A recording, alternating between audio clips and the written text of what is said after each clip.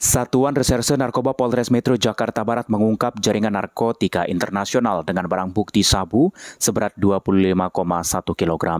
Dari pengungkapan pengedaran sabu jaringan Aceh Malaysia ini, polisi mengamankan tiga tersangka pengedar yakni G, MI, dan ZF. Ketiganya ditangkap di sejumlah wilayah yakni Cianjur, Bogor, dan Tangerang. Saat menggelar press release di Mapolres Metro Jakarta Barat kami sore, Kombes Pol Dudi menyatakan pengungkapan kasus sindikat narkotika internasional ini berawal dari pengembangan kasus peredaran narkoba di kawasan Kampung Ambon, Cengkareng, Jakarta Barat. Dari barang bukti sabu seberat 25,1 senilai miliaran rupiah yang berhasil diamankan petugas mengklaim setidaknya dapat menyelamatkan 125 ribu lebih jiwa dari bahaya penyalahgunaan narkoba.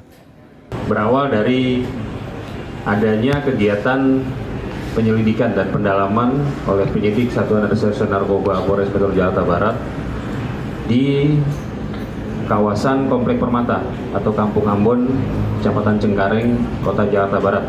Para tersangka dijerat dengan pasal primer yakni pasal 114 ayat 2 Jungto pasal 132 ayat 2 Undang-Undang Republik Indonesia nomor 35 tahun 2009 tentang narkotika dengan ancaman hukuman maksimal yakni pidana mati. Ilham Andriansah, Jak TV.